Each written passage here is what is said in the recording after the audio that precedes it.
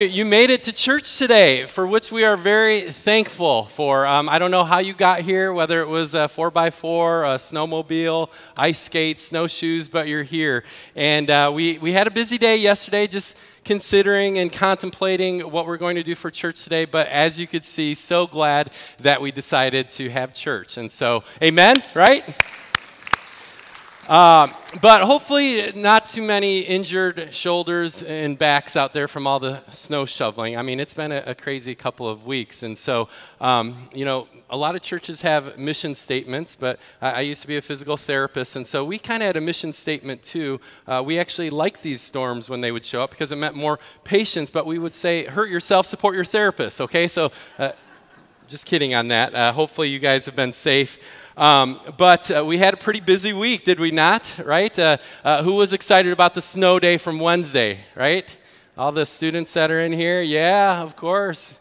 And so, uh, but I also understand that last week was kind of the first week for many to get back into the swing of things. Maybe if you took some time off for the holidays, uh, you had to wake up a little bit earlier, get back into the grind. And so I understand if there are some droopy eyelids out there as well. I'll do my best to keep things as interesting as possible today. It is the book of Romans, and so it is jam packed. It's kind of like we're trying to just stuff things into a suitcase with these messages, and then, you know, how they have that little zipper that expands. That's kind of what we're doing with uh, going through this book. But one more thing, I think I have a slide of this. When we were talking about uh, whether or not to have church today, right? Uh, anybody actually been in a game like that? Right. And so I have, uh, you know, Bears Packers, I think it was 2007. It was negative 40 degrees at Soldier Field. And so we braved it, and of course the Bears lost. Okay. So, uh, but that's just pretty much par for the course. But Lake Michigan, uh, it truly feels like negative 40. That's not Lake Michigan, but we did find that. I think Brian sent that to me. But, but again, you guys are here, so how amazing is that? But if you were with us last week, um, we had uh, our kickoff, we, the preface or the introduction to the book of Romans, and um, this great and, and, mighty book. And, and, we took some time to consider uh, how the book of Romans really was uh, influential as far as the history of the church is concerned. It was not only behind some of the revivals and reformations of uh, our church and its history, but also behind the conversions of the likes of St. Augustine or St. Augustine and, and Martin Luther and, and John Wesley. Uh, we also took some time uh, last week to really ask ourselves this question of what does the book of Romans mean for Redeemer Church? And we came up with a, a mission statement through the book of Romans, if you will. We also talked about the first word of the first verse of the first chapter of the book of Romans, and that is the word Paul. And we talked about two things as it pertains to Paul. And the first one was that he was a chosen instrument. Uh, we know that the Lord spoke to Ananias through a vision that he was to go talk to Paul and, and tell him what the Lord's plans were for him. And the Lord told Ananias that, Go, for he is a chosen instrument uh, of mine to carry my name to the Gentiles. Uh, to uh, the, the people, the children of Israel, and, and, to kings. And Paul was able to do this because he was uniquely and particularly chosen by God. You see, if we remember, Paul was a Jew. Uh, he was also a Greek from the city of Tarsus, and as well as a Roman citizen. And so, in addition, we talked about Paul's conversion, this radical conversion. Uh, remember, Paul was a violent persecutor uh, of the church of God. And Paul was radically transformed. He was radically converted on the road to Damascus. And, and with that, we see Paul going from this persecutor, this violent persecutor uh, of the Lord's church, uh, to the writer of the book of Romans, to, to the writer of 13 uh, epistles, to, to this prominent figure of the apostolic age. He, he was the church planter of all church planters. He, he planted 13 churches. And so this is a story of how God could take the chief of sinners and transform the chief of sinners into the most godliest, into the most greatest uh, of saints. You see, the, the book of Romans, again, is Paul's theological testimony. In fact, the book of Romans is our testimony.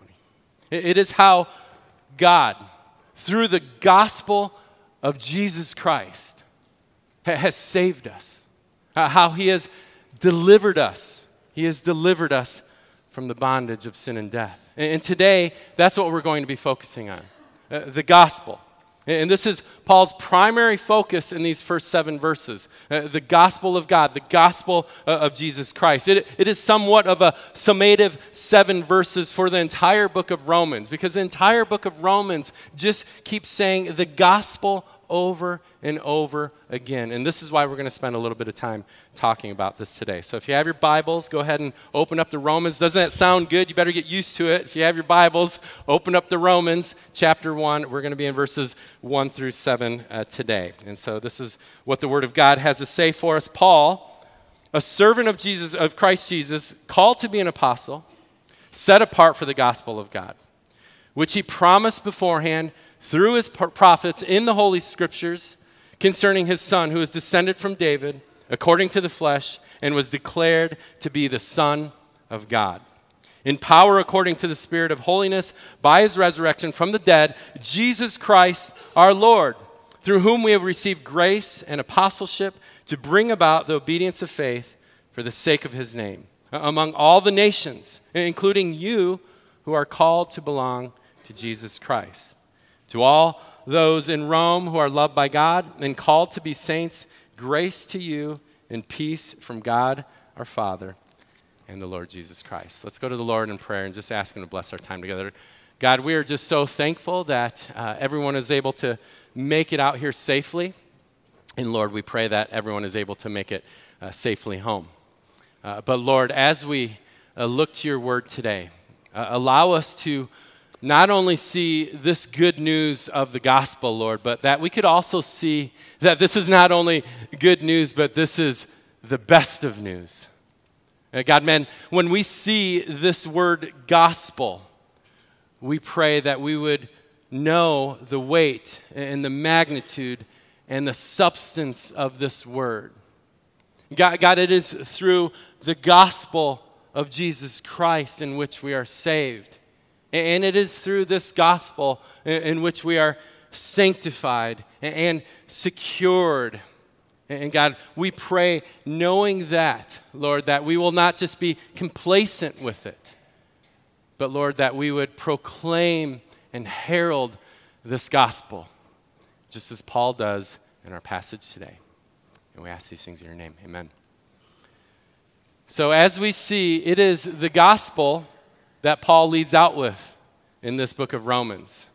It is the gospel that Paul concludes with in this book of Romans. In the, his doxology at the conclusion of chapter 16, he is referring to the gospel. It is the gospel that is the good news in this world that is completely full of bad news. It is the gospel that is the answer, uh, the antidote, the, the key, uh, the solution uh, to remedy, remedy man's greatest problem. And what is man's greatest problem? Well, that is his sin problem, his issue with sin. And this is important because you've probably heard this statement before at some point. We, we truly have to recognize how, how good the good news is, okay? And we're only able to do that if we truly embrace how bad the bad news is. And that's why Paul spends the first three chapters of the book of Romans talking specifically about man's greatest problem, and that's his sin problem. This is, it has colossal ramifications as far as eternity is concerned, uh, mankind's sin. It is man's sin that provides this separation, this chasm between sinful man and holy God. It is uh, man's sin that creates this eternal separation uh, between him and, and God. And, this eternal separation means uh, eternal separation from God in hell. It is man's sin that brings about the wrath of God. And this is so important because this is why the gospel of Jesus Christ takes front and center stage today. Uh, This is why the gospel uh, of Jesus Christ is so important as far as how we live our lives, how we do church, what we study in His Word. This is why the gospel of Jesus Christ is the centerpiece, uh, the focal point, and the target and the uh, bullseye of today's message. It is this good news. And that's what the, the word gospel means, euangelion. It is this good news that we're going to be breaking down today because in our passage, in these seven verses, Paul actually has six different aspects of the gospel that he wants to make us aware of. And the first one is the gospel was preached by Paul. And this is pretty obvious here. So Romans 1 1. Paul, a servant of Christ Jesus, called to be an apostle, set apart for the gospel of God. Now, Paul was set apart for the gospel of God. Paul was set apart to preach the gospel of God. Uh, last week, we spent a lot of time talking about Paul, looking at different areas throughout Scripture as far as describing this person.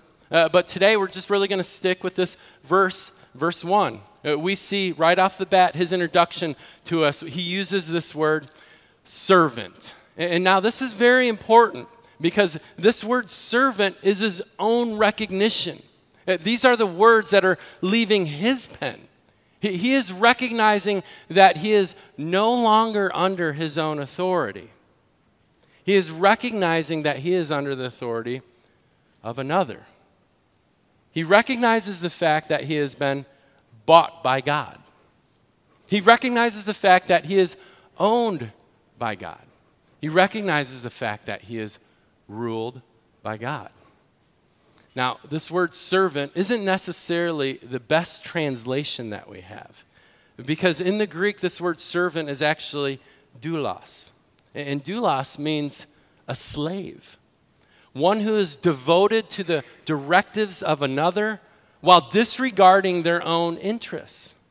Now, obviously, we see the word servant because of the negative connotations uh, that have been uh, throughout the last few centuries as far as this word slave is concerned. But Paul is not referring, as far as most commentators would agree, Paul is not referring to kind of a, a day laborer or, or just kind of like a, a house servant that could come and go as they please. Paul is using this word doulos because in the Roman Empire, in that day and age, there was indeed many slaves. And it was not a situation where they could just come and go as they please. They were indentured for life. These slaves, they were purchased, they were owned. And so when Jesus says to us, deny yourself and pick up your cross daily and follow me. Our own will, our own purposes, our own directives are no longer at the forefront. We are purchased, we're owned, we're bought by God. And when that transaction takes place, it is now the Lord's will, the Lord's purposes, the Lord's directives in which we have been redirected towards. And Paul recognized this. Uh, One of my favorite verses, and I think one of the most powerful verses in all of Scripture, Galatians 2:20.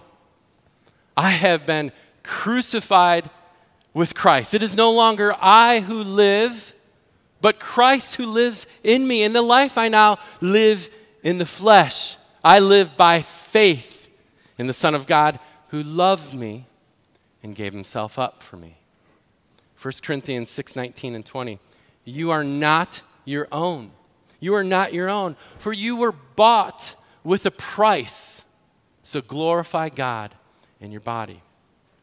You see, we were not only bought with a price, but we were purchased with a blood bought price.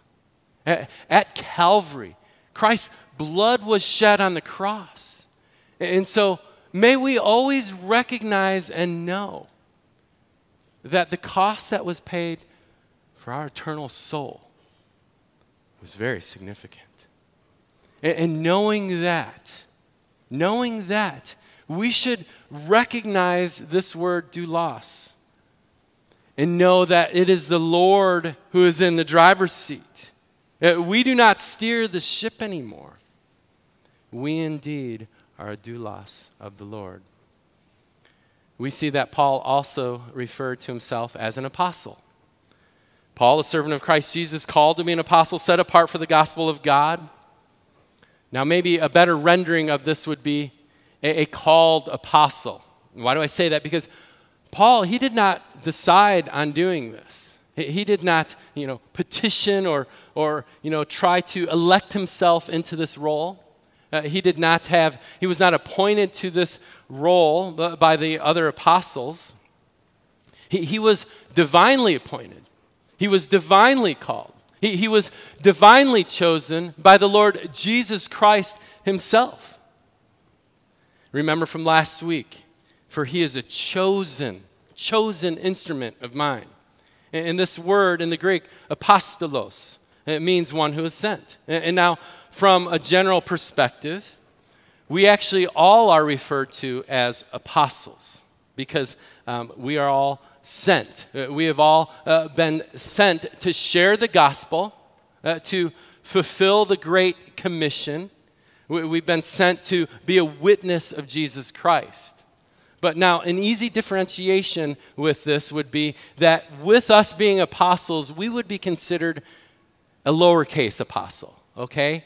But Paul is referring to himself here as an uppercase uh, apostle. And what do we mean by that? This would consist uh, of the 12 disciples, including Matthias, who was appointed after Judas hung himself, and then Paul, so that would make a total uh, of 13. Now, an important aspect, one thing to consider as far as a qualifying aspect for capital A apostleship would be that they had witnessed the resurrected Savior Jesus Christ. And Paul indeed had on the road to Damascus. He, he was radically converted. He came face to face with Jesus Christ. Paul, Paul, who, Saul, Saul, who are you persecuting? And this is where Paul came face to face with Jesus Christ. In addition, these men that Christ specifically chose and commissioned to proclaim the gospel and to also lead the early church. And this is important because when Paul was writing this letter of Romans, when Paul was writing any of his epistles, his writings and these letters were considered to have apostolic authority. These words were authoritatively binding over the church, the dispersed church of Rome, and also authoritatively binding to all the churches, not only back then, but also today. If we look to Ephesians, uh, the church uh, was built on the foundation of the apostles and the prophets, with Jesus Christ being the cornerstone. And that's what it would mean if we were to say we are an apostolic church. That, that means we come under uh, the teachings of the apostles, with Jesus Christ being the cornerstone, Jesus Christ being the head of the church. And so if you're at church and, and someone comes and rolls up to you and says, Hello, um, I just wanted to let you know that I am the Apostle John, okay? Uh, you might want to find a new church, okay? So we're, we're not going to talk about the New Apostolic Reformation, the NAR. Uh, that's for another day, but it is important to recognize that Paul is recognizing himself as one of the disciples that had been clearly commissioned by God, who had witnessed the resurrection and has apostolic authority over the church. And so, verse 1 in summary this is the gospel that was preached by Paul. It, was brought to us by a servant who was bought by Christ, an apostle called by Christ, and a man who was set apart by Christ. And so if we look to verse 2, we could see that this gospel, this gospel was promised by God. This gospel was promised by God, which he promised beforehand through his prophets in the Holy Scriptures concerning his son. You see, the gospel is not some contrived, uh, fictitious, fabricated creation uh, of man, as many of the world's religions find their origin in. Nor does some revision or redirection of God. Uh, God has never been at a place where he's wringing his hands and saying, I hope it works out for the Israelites. And to say, like, well, I'm just going to redirect things and allow the Gentiles to come into the fold. Uh, that's not how God works in his sovereignty. That's not how God works in his immutability. Uh, God never changes, and because God never changes, neither do his purposes, his will, or his directives. God is immutable, and his purposes are immutable. He, he always follows through and will do what he has promised, he will always do what he has covenanted. But remember, Paul was a Jew. Jew, a Jew who trained under the great rabbi Gamaliel. And he knew the arguments that his Jewish dissidents would be bringing against him uh, because he was uh, the, the Hebrew of Hebrews. He, he already knew where to go as far as defending his faith, defending Christianity, defending being a follower uh, of Jesus. And so this is very important because this is why Paul references the Old Testament so many times throughout his letters. So many times in the book of Romans. Uh, we talked about 63 to 88 times Paul references the Old Testament in the book of Romans. He knew how important it was to look back to Old Testament prophecies and to validate the fact that Jesus Christ was indeed the fulfillment of these prophecies. You see, the good news, the gospel, it is not new news. It's actually old news. The gospel never changed from the Old Testament to the New Testament. The gospel was always same, the same from the Old Testament to the New Testament. You, you see, the gospel is meticulously, providentially sovereignly intertwined throughout the Old Testament. And it is completed and comes to full fruition in the person of Jesus Christ in the New Testament. And it is these prophecies found in these holy scriptures that we know were fulfilled and completed by Jesus Christ and through Jesus Christ. What does Christ himself tell us in Matthew 5 17 and 18? He's talking about the law and the prophets. He's talking about the Torah. He's talking about the Nevi'im, the, the writings of the prophets. Do not think that I have come to abolish the law or the prophets. I have come not to abolish them, but to fulfill them. For truly I say to you, until heaven and earth pass away, not an iota, not a dot will pass from the law until all is accomplished. All I have set out to do is accomplished. And so it's important to recognize that we do not have a faith, that the gospel is not separated by the Old and New Testament. It is very important to recognize this as it pertains to how we view Judaism. Because our religion, Christianity, was birthed out of Judaism. The Old Testament is Judaism. The first five books of the Bible, the, the Torah, uh, the, the books of the prophets, the Nevi'im, uh, the books of the writings, the Ketuvim, uh, all three of these being combined into the Jewish Bible, the Tanakh. In, the Jewish Bible, folks, as we know, is our Old Testament. And, and so our prayer and gospel witness, as far as if we're sharing the gospel with Jewish people, it shouldn't be that we should ask them to change their religion. What we should be praying and witnessing towards is that Jewish people would indeed complete their religion. Complete their religion by recognizing that Jesus Christ is the prophesied messianic Savior of the world. Uh, that the Bible, Travis and I were just kind of discussing this, and he brought up this, which I, I loved. Uh, that the Bible wouldn't stop here, Uh, but that the Bible would stop here. Uh, that we would take Old and New Testament and, and combine this and, and, recognize that this gospel in which we're talking about today has been meticulously interwoven through the Old Testament, and now the gospel comes to completion, comes to fruition in the New Testament. Because remember, a little bit later in this chapter, chapter 1, verse 16, that the gospel, what does it say, is for the Jew first, and then also to the Greek, with the Greek being considered Gentiles, all of us.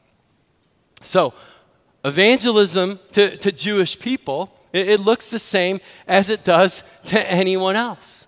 We need to share the gospel of Jesus Christ. And sure, it would be great to have an apologetic argument that, that really connects all of the dots as far as uh, prophecy fulfilled from the Old Testament in the person uh, of Jesus Christ, but it really comes down to the same issue uh, with a, with a, a Mormon, with a Jehovah Witness, uh, with an atheist, with any other world religion out there. It comes down to the same issue. What will you do with Jesus? Is he your Lord? Is he your Savior? And it's the same question that we have to ask ourselves. So, if you wanted that whole conversation as far as Israel to continue, you know, the nation of Israel, the remnant of believers, the partial hardening, hardening, the us being grafted in, how the nation of Israel relates to us and, and as a church and to end times. Well, we're going to get to that in Romans 11 and uh, that'll probably be sometime in 2034. So, so just kidding. Um, but Randy Newman, a Christian apologist, states this in his book Engaging with Jewish People, Understanding Their World, Sharing the Good News. He states this as far as stepping into engaging with Jewish people. Step into the process of engaging with Jewish people, understanding their world, and share the good news, the gospel, and watch God do the impossible. So a little bit of a rabbit trail there, but I thought it was just a, a good inlay into, into that. Uh, but as we see, this whole premise of prophecy being fulfilled, it continues into point three and continues into verse three. Point number three is this the gospel was prophesied by men, which he promised beforehand through his prophets in the Holy Scriptures concerning his son who is descended from David according to the flesh. Now, what are some of these prophecies that Paul is referring to? Well, if you're with us during our Ecclesia sermon series, is one of our first sermon series, we had a message called The Glory of Christ, where we identified nine different tenets as far as um, Jesus Christ actually being who he said he was, uh, the Son of God. Remember, he was not a liar, he was not a lunatic, but he was and is God. Lewis's trilemma. But what we talked about specifically is 300 to 450 messianic prophecies from the Old Testament being fulfilled in the person of Jesus Christ. Now, we're only going to merely scratch the surface on uh, a couple of these as it relates to verse 3, but what does verse 3 state?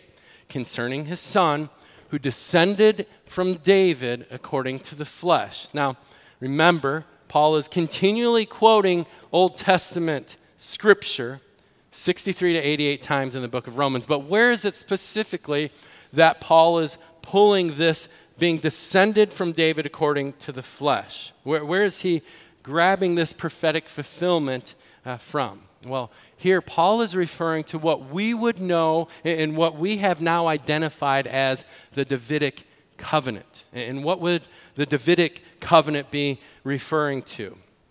So, this is the unconditional covenant made by God to David and the nation of Israel that the Messiah would come from the tribe of Judah, the line of David. And from this, the Lord would establish a kingdom that would endure forever. That the Savior would come from the line of David. And this is the summary of what is found in 2 Samuel 7 when the prophet Nathan is speaking from the Lord specifically to David. This is where uh, the Davidic covenant is originated out of. He, states this When your days are fulfilled and you lie down with your fathers, I will raise up your offspring after you, who shall come from your body, and I will establish his kingdom. He shall build a house for my name, and I will establish the throne of his kingdom forever. Forever. You see, the Messiah will establish his throne of his kingdom forever. No man could do that. And notice that Paul uses also this word prophets, plural. He doesn't say the prophet Nathan from 2 Samuel, he actually uses the word prophets. And this is also reinforced in, in 1 Peter when the Apostle Peter is saying that the prophets searched and inquired carefully uh, about the person and, and the time in regards to the sufferings and subsequent glories of Christ. But he uses the word prophets. And so we could see this to be a recurring theme to reinforce what would later be known as the Davidic covenant. Jeremiah 23 5, Behold, the days are coming, declares the Lord, when I will raise up for David a righteous branch. This righteous branch shall reign as king and deal wisely and shall execute justice and righteousness in the land. Isaiah 11:10. In that day, the root of Jesse, who, who shall stand as a signal for the peoples, of him shall the nations inquire, and his resting place shall be glorious. So, two prophetic prophecies, two, that's not a word, two prophecies that were fulfilled in, in Jesus Christ. And, this is also, if we were to look at, the beginning of the Gospel of Matthew, and he really, right off the bat, brings things full circle in, in verse 1, chapter 1. And he talks about the genealogy of Jesus Christ, starting with Abraham, through David, and to Jesus Christ. Matthew 1 1, the book of the genealogy of Jesus Christ, the son of David, the son of David, the son of Abraham. You see, all of the promises of God, according to 2 Corinthians 1:20, all of the promises of God are what? Yes. Yes in him. Yes in Jesus Christ. All of the promises of God are yes in Jesus Christ. And so when we see things such as this, eh, such as prophecy being fulfilled, it should serve to validate and substantiate our faith. It is of utmost importance. This is pure evidence. Evidence that demands a verdict, right? Prophecy fulfilled equals truth revealed. And we've said that before, and we'll say it again. It should strike a chord with us when we see prophecy such as this fulfilled in the person of Jesus Christ. And, and Paul wants to make it abundantly clear that it is not the prophecies, it is, it is not the prophets, it is Jesus Christ who, who is the source, who is the substance, who, who is the subject of the gospel. Everything rises and falls with the person of Jesus Christ, his crucifixion, his resurrection, what he was able to do. And one of the reasons that Christ was able to do this, we find this in the midst of this passage. Just you could easily gloss over it, but we're going to camp out here just for a second. It's somewhat of a sandwich, if you will.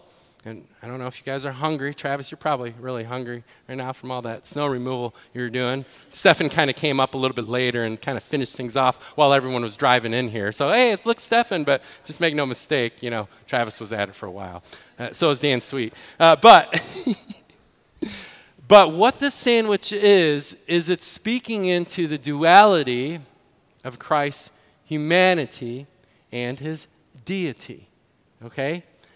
Big word alert coming up. I did not know this was going to be a family service when I wrote the message this past week, okay? So, kids, if you use this word at some point, like around adults, and you actually explain what it means, they're going to be like, whoa, we've got a little theologian on our hands, all right? So, big word alert coming up hypostatic union.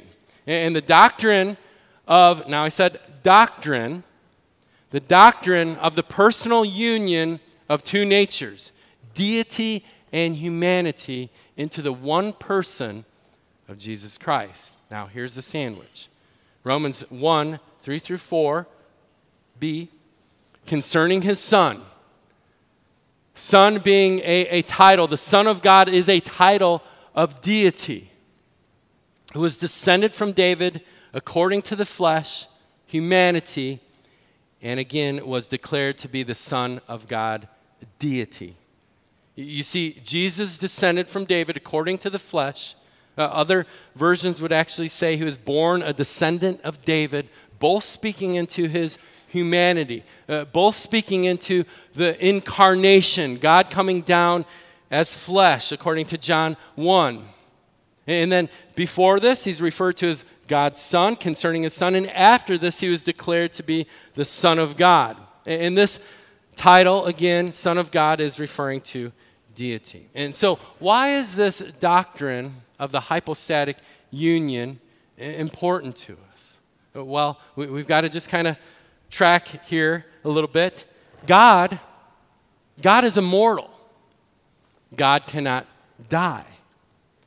God had to come down as a man, humbling himself, taking on flesh through the incarnation to die a sacrificial sin on the cross. And now, when he came down, he was not stripped of his deity, uh, but all the while, Christ was fully God and fully man. And, and Christ was not just any man, he was the, the man, the man that led a perfect life, a sinless, blameless, perfect life, the perfect Lamb of God. And he was the only one worthy, as we talked about at Christmas Eve, the only one worthy uh, to take on this sacrifice, to take on the wrath of God. And all of these things, they point to the substitutionary atonement, uh, that there indeed is a penalty that must be paid. A penalty for the sins of mankind, a penalty for our own sin. What are we told? The wages of sin is death. And in order for this debt to be paid, in order for this debt to be paid in full, there had to be a payment for the sin. It was either to go to us or it was to go to the Son of God. And so, even though we could easily gloss over this, I think that Paul knew exactly what he was doing uh, when he was talking about this duality of Christ's nature, his humanity and deity, uh, as far as a doctrinal truth. And I say doctrinal because this has been on the docket since the beginning of church history. This is one of the aspects as far as fully man, fully God, Christ's deity at the Ecumenical Council of Nicaea in 325 AD. So, so it's of great importance. And a few months ago, and I think this is interesting for if you want to take a creative point of view to the hypostatic union. A while back, my son, Mason, he's a big history buff, but he told me about this painting, and many of you guys may be familiar with it. I wasn't at the time but it's one of the first depicted portraits of Jesus Christ. Now, depicted, it, there wasn't anyone, you know, making a portrait of him when he was uh, alive, but it's from the sixth century called Christ uh, Pantocrator.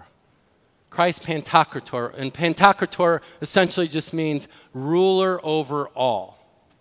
Uh, but this picture, as we see, is very unique, or this, this portrait, this depiction is very unique because if you notice that both sides of his face look a little bit different. Uh, on uh, the right side uh, of his face, we see more of a, a stern, a, a, sense of consternation. And this would be referring to, to God and maybe uh, uh his judgment. And, and, then on the left side of the picture, we see his humanity uh, more softer, if you will. And there's all kinds of symbolism if any of you wanted to take a deep dive. But I think this next picture just kind of shows the, the difference that you could see if you were to, you know, computer generate it into as far as both sides looking the same. And so I thought that was great, uh, uh, just kind of cool, just to uh, throw that out there. So, uh, but all that to say, Paul was bookending with the tail end of this sandwich with again the deity uh, of Jesus Christ. And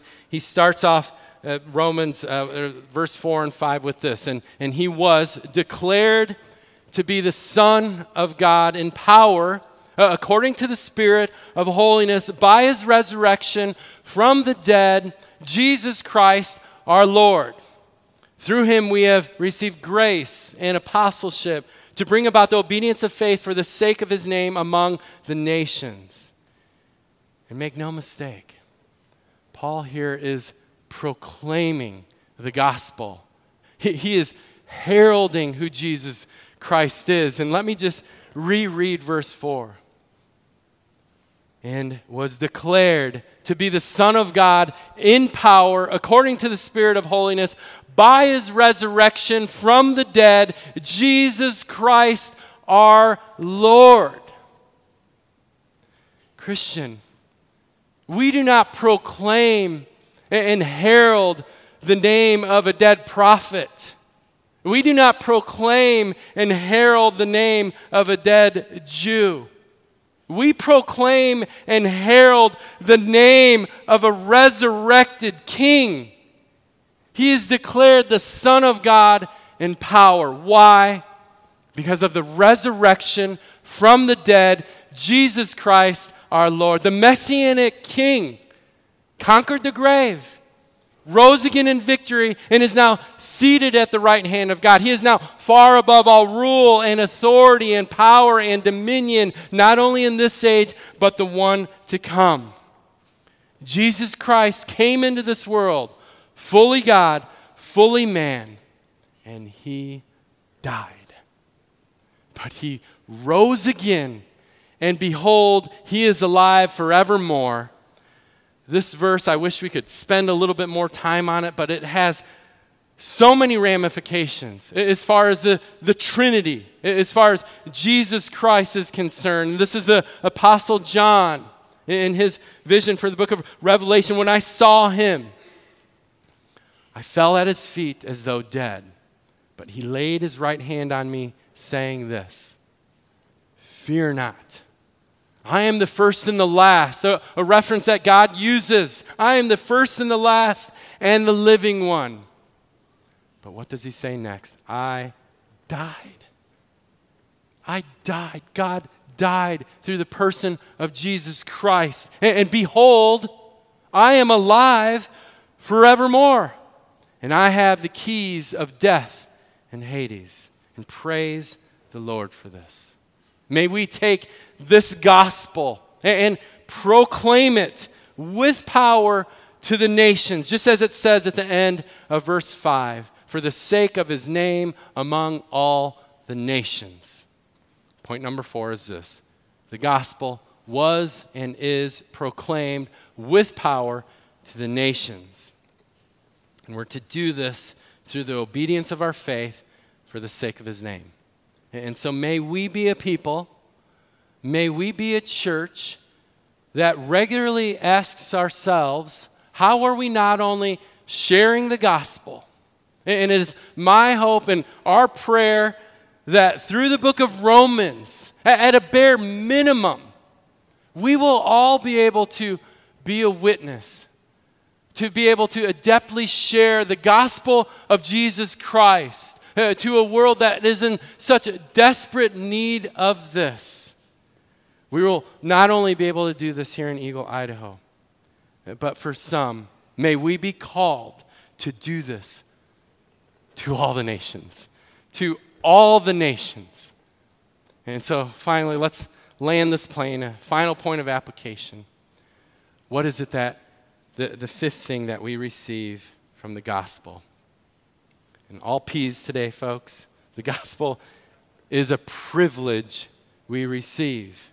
A privilege we receive. Yes, we have the richest gift, the richest privilege, which is our salvation. But through that and in that, we have been given privileges here in verses 6 and 7, including you who are called to belong to Jesus Christ to all those in Rome who are loved by God and called to be saints. And what are these privileges? We belong to Jesus. Take that. Don't just let it gloss over you. You belong to Jesus. He is the Lord and creator of the universe. And we belong to Him. We are loved by God, and we are called to be his saints. And so, as Paul concludes his first introduction of the gospel, And as we conclude our first introduction to the gospel through the book of Romans, he has a final benediction, and we have a final benediction. Romans 1 7b. Grace to you and peace from God our Father and the Lord Jesus Christ. Let's pray. Lord, again, we are so thankful to just be able to meet, not neglecting to meet with one another, not forsaking the assembly, Lord. But Lord, we love to come into your house and worship you. And God, may our time together be a sweet time of fellowship. And God, we're so thankful for the so many people that allowed today to happen. God, may we just go and, God, just be able to know and understand, God, that you are great and mighty. And we could see your imprint all throughout Scripture, Lord. Uh, that we don't take it lightly, Lord, that it may indeed empower our bold witness for the gospel of Jesus Christ. God, we thank you. May you receive all the praise, all the glory, and all the honor. Amen.